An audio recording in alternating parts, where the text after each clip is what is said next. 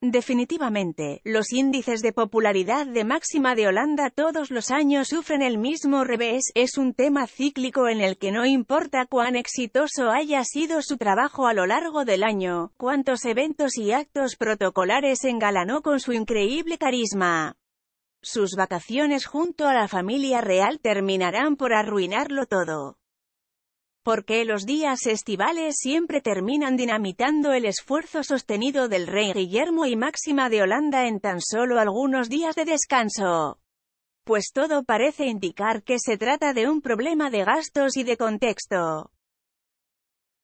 El paso de la COVID-19 en Países Bajos en 2020 requirió como medida sanitaria ulterior el confinamiento obligatorio, mientras nuestros royals favoritos disfrutaban de las bondades de las costas griegas, en su exorbitante mansión en la región de Dumalfi y aquel yate maravilla de 2 millones de euros.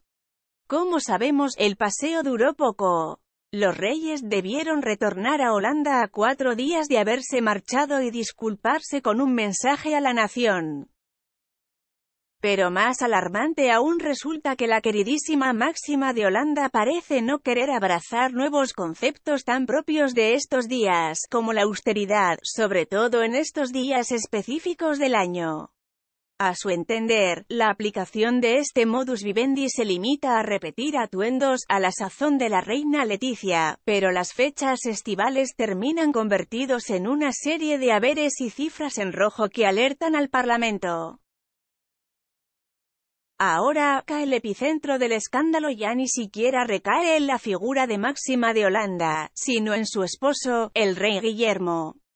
Esto tiene que ver con su intocable coto privado de caza. Cada quinquenio, la familia real recibe casi 5 millones de euros por llevar a cabo la simple tarea de preservar los terrenos que pertenecen a una importante reserva natural donde se erige el castillo de Hetlu, donde todos los años sirve como escenario verde para los posados familiares de esta época del año.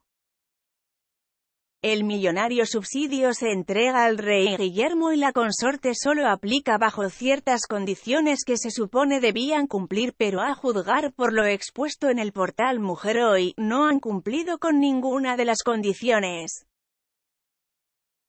Se supone que la reserva debería estar presta al público durante 358 días al año, es decir, solo se cerrará durante una semana para el disfrute de los royals pues el rey y máxima de Holanda se han saltado estas determinaciones y cierran los accesos desde el 15 de septiembre al 25 de diciembre.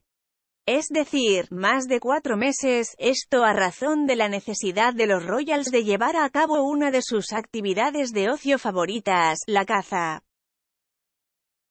Nuevamente, el Parlamento tendrá que intervenir y hurgar en las finanzas de la corona. En enero del 2022 se discutirán dos opciones supletorias para reajustar los convenios rotos por el rey Guillermo y su familia, si el monarca y la soberana desean para sí los espacios a fin de cazar a sus anchas, deberán pagar de su bolsillo los costos de mantenimiento de la reserva apartada por estos cuatro meses, o podrían apegarse al acuerdo original, es decir, usar los terrenos durante solo una semana, en un radio de acción de una hectárea pero con una onerosa compensación por ello.